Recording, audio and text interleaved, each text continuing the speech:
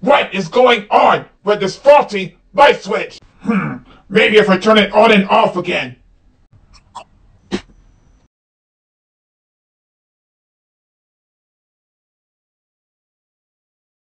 What the? It exploded! I guess I've broken it now! Hmm. Huh. Lesson learned, everyone! Do not try to fix it yourself if you're not experienced with it!